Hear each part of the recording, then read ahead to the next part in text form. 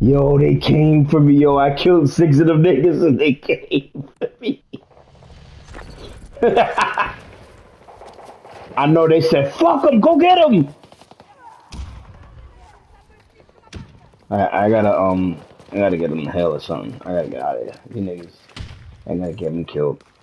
Out of here. Headshot, nigga.